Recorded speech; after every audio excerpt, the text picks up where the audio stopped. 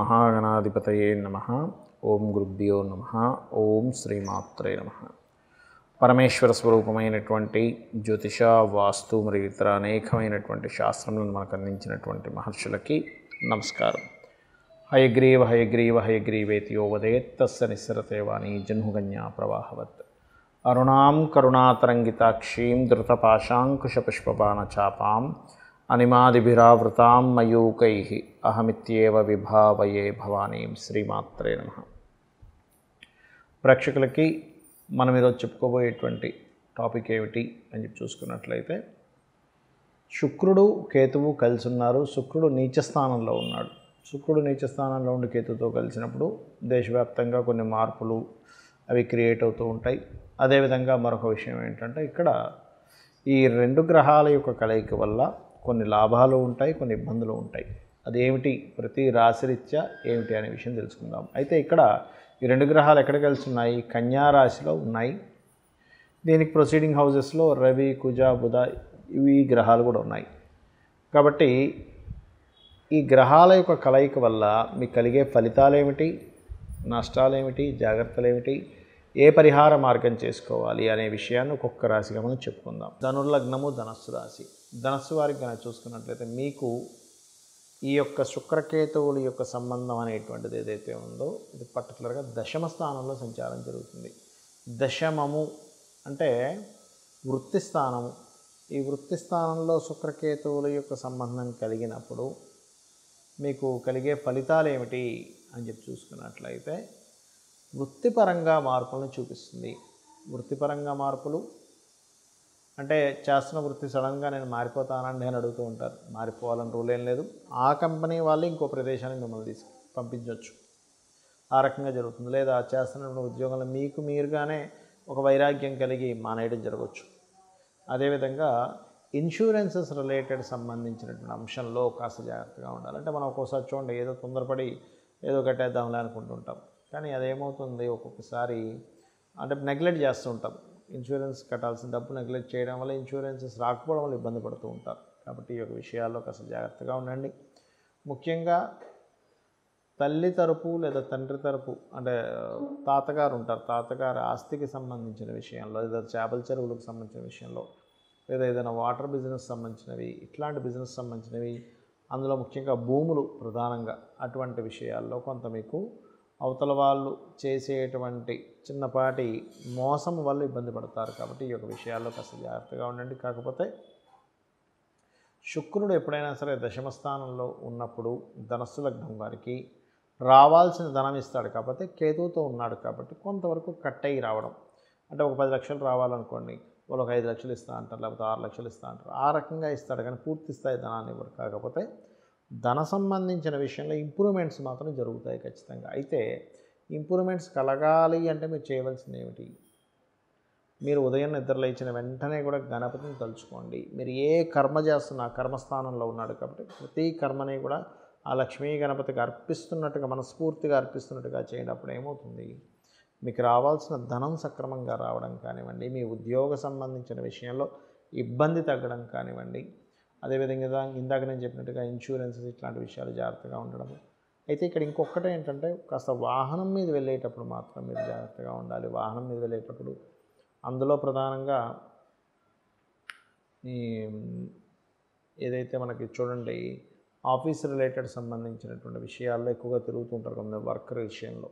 అటువంటి విషయాల్లో కూడా కొంత జాగ్రత్తగా ఉండాలి. ముఖ్యంగా నీటి ప్రదేశాలకు వెళ్ళినప్పుడు ఇప్పుడు మనకి కొన్ని కొన్ని జలపాతాల దగ్గరికి అయితే వెళ్తూ ఉంటారు. అటువంటి విషయాల పట్ల కూడా కాస్త జాగ్రత్తగా ఉంటూ మీరు వినాయకుడి దగ్గర కనుక గుంజీలు తీసినట్లయితే త్వరగా మీ యొక్క సమస్యల నుంచి బయటపడడం జరుగుతుంది. ఇప్పటి వరకు మనము మీ రాశి గురించి ఏదైతే చెప్పుకున్నామో దేనికంటే కూడా అతి ముఖ్యంగా మీరు చూసుకోవాల్సినటువంటిది గుర్తుపెట్టుకోండి. ఈ శుక్రకేతువులు స్థితి పొందిన దగ్గర మీ యొక్క జన్మజాతక చక్రంలో ఎటువంటి పోర్ట్ఫోలియో పడింది? దాని మీద ప్రభావం ఎక్కువగా ఉంటుంది గుర్తుపెట్టుకోండి. ఒకటి. రెండవది దీని ప్రభావం ఎవరికి అస్సలు ఉండదు అంటే లక్ష్మీ గణపతి ఆరాధన ఎవరైతే చేస్తారో వారికి అస్సలంటే అసలు ఉండదు దీని యొక్క ప్రభావం. రెండవది. మూడవది ఏమిటి అని చెప్పి చూసుకున్నట్లయితే ఎవరైతే మెడికల్ రంగాల్లో గైనిక గైనిక్ రిలేటెడ్ సంబంధించిన వాటిలో ఉంటారు వాళ్ళకి ఉండదు. ఎందుకు ఇవన్నీ చెప్తున్నాను అంటే వాళ్ళు తత్ సంబంధించినటువంటి కర్మ చేసేటప్పుడు అది ఆ కర్మలోకి కనెక్ట్ అయిపోతుంది గుర్తుపెట్టుకోండి. ఇక రెండవ విషయం ఏంటి అంటే ఇక్కడ గమనించుకున్నట్లయితే ఈ కాంబినేషన్స్ ఇవన్నీ గోచార ఫలితాలకు ఎత్తైతే మన జన్మజాతక ఫలితాలు ఈజ్ మోస్ట్ ఇంపార్టెంట్ అంటే మీరు జన్మించినప్పుడు ఉన్నటువంటి డే డేటు మంత్ ఇయరు అదేవిధంగా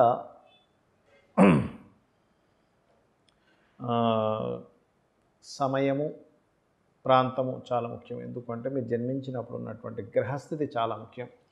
మీరు జన్మించినప్పుడు మీ లగ్నాధిపతి ఎక్కడున్నాడు? మీ లగ్నం ఎలా ఉంది అనే దాని మీద మీ యొక్క జీవిత పరిస్థితి ఏమిటి? అదేవిధంగా మీ కర్మకారకుడు పుట్టినప్పుడు ఉన్నటువంటి కర్మకారకుడు శని ఎన్ని రౌండ్స్ వేసుకుంటూ ఎటువంటి ఫలితాలను ఇచ్చే దాంట్లో ఉన్నాడు? మీకు ఎటువంటి యోగాలు ఉన్నాయి? అంటే మనం చాలామంది చూడండి ధన సంబంధించిన విషయంలో ఇవేవో ప్రయత్నాలు చేస్తుంటాం. ఆ ప్రయత్నాలు బిజినెస్ చేసేటప్పుడు కొంతకాలం ముందుగా దానికి కొంత ప్రభావం ఉంటుంది. దాని తర్వాత దాని అది పెరుగుతూ ఉంటుంది. అయితే ఇక్కడ ఏమిటి అంటే అసలు మీకు ఏ మార్గంలో ధనయోగం ఉంది అనేటువంటిది మీ ధనాధిపతి చెప్తాడు. అదేవిధంగా మీ ప్రయత్నాలు ఎందులో చేయాలి? మీరు ఏ డైరెక్షన్లో నివసిస్తే మంచిది? మీరు పర్టికులర్గా సంతాన సంబంధించిన విషయంలో ఎందుకు ఆలస్యం అవుతుంది లేదా వాళ్ళ అభివృద్ధి ఎందుకు కలగట్లేదు? అలాగే మీకు హెల్త్ ఇష్యూస్ వస్తున్నా లేదా ఎక్కువగా అప్పులు అవుతున్నా లేనట్లయితే మీరు శత్రుత్వాలు ఎక్కువగా పెరుగుతున్నా కారణం ఏమిటి? ఏ గ్రహదశ నడుస్తుంది? దేనికి సంబంధించినటువంటి విషయాలు నడుస్తున్నాయి అనేటువంటి చాలా ముఖ్యంగా చూసుకోవాలి. అలాగే మరొక విషయం ఏంటంటే ఇక్కడ గమనించినట్లయితే దీంతో పాటు పర్టికులర్గా గుర్తుపెట్టుకోండి చాలామందికి తెలియక ఆలస్య వివాహం యోగం ఉంటే తొందరగా వివాహం చేసుకుంటారు లేదా త్వరగా ఉండే వివాహ యోగం ఉంటే కావాలని ఆగుతుంటారు.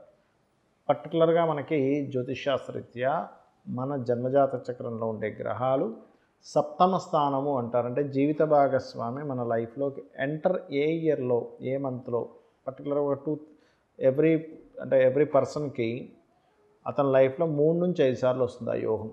కాబట్టి ఆ సమయం ఎప్పుడుంది? చేసుకోకూడని సమయంలో వివాహం చేసుకునే వాళ్ళు ఇబ్బంది పడుతూ ఉంటారు చాలామంది తెలియక.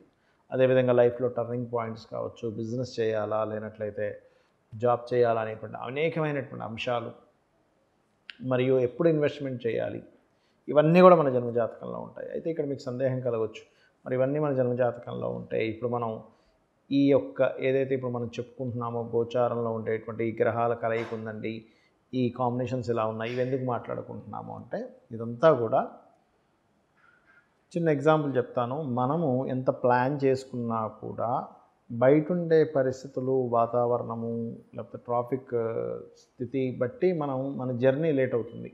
అంటే ఏంటి? బయట ఉన్న పరిస్థితులను గమనించుకుంటే ఓహో ఈ సమయంలో ట్రాఫిక్ ఎక్కువ జామ్ ఉంటుంది కాబట్టి ఒక హాఫ్ అన్ అవర్ ముందు బయలుదేరాలన్న విషయం తెలిస్తే మనం సమయాన్ని చేరుకోగలం. అదేవిధంగా మార్కెట్ స్ట్రాటజీస్ కావచ్చు ఇట్లాంటి అనేకమైనటువంటి విషయాలన్నీ కూడా గోచారంలా పనిచేస్తూ ఉంటాయి. ఇప్పుడు ప్రస్తుతం నడుస్తున్నటువంటి గ్రహస్థితిలాగా. కాబట్టి మీరు గుర్తుపెట్టుకోవాల్సిన అంశం ఏంటంటే గోచార యొక్క ఫలితములు మీ జన్మజాతక ఫలితాలని ఈ రెండింటిని మిళితం చేసుకుంటూ జ్యోతిషాస్త్రం ఉన్నటువంటి దేనికి అంటే నీకు ఈ కండిషన్ ఈ మహాదశ ఈ అంతర్దశలో ఈ ఫలితాలు రాబోతున్నాయి కాబట్టి నువ్వు ఈ జాగ్రత్త తీసుకోవాలి. అదేవిధంగా నీకు ఇటువంటి స్థితిగతులు ఉన్నాయి కాబట్టి నువ్వు ఈ జాగ్రత్తలు తీసుకోవాలి అనేటువంటి ప్రధానంగా మనం చూసుకోవాలి గుర్తుపెట్టుకోండి. కాబట్టి ఏంటంటే ఇక్కడ మీరు అర్థం చేసుకోవాల్సినటువంటిది ఈ శుక్రకేతువుల యొక్క స్థితి ముఖ్యంగా మీరు గణపతి ఆరాధన చేయడం ద్వారా దోషం తగ్గుతుంది. లక్ష్మీ గణపతి స్తోత్రాలు చదవడం వల్ల తగ్గుతుంది. మరియు ముఖ్యంగా గోశాలకు వెళ్ళి గోవులకి బెల్లము మరియు అదేవిధంగా తీపి చపాతీలు తినిపించడం ద్వారా కూడా తగ్గుతుంది. ఇవి చేసుకోండి. మరియు మరొక విషయం ఏంటంటే ఈ శుక్రకేతువుల కాంబినేషన్ వల్ల కాస్త వాహనం మీద వెళ్ళేటప్పుడు కూడా కాస్త జాగ్రత్తగా ఉండాలి. ఎప్పుడైనా శుక్రుడు నీచబడి కేతువుతో ఉన్నాడు అంటేనే గుర్తుపెట్టుకోండి ఆ సమయాల్లోనే ప్రత్యేకంగా గోచారంలో ఉండే ఈ గ్రహస్థితి వల్ల వాహన ప్రమాదాలు కావచ్చు రకరకాల వాహన సంబంధించినవి ఇబ్బందులు కలుగుతుంటాయి. కాబట్టి బయలుదేరే ముందు ఎక్కడికైనా ఏదైనా ఊరు వెళ్ళేటప్పుడు అమ్మవారిని తలుచుకొని వెళ్ళండి. శ్రీమాత్రే నమ.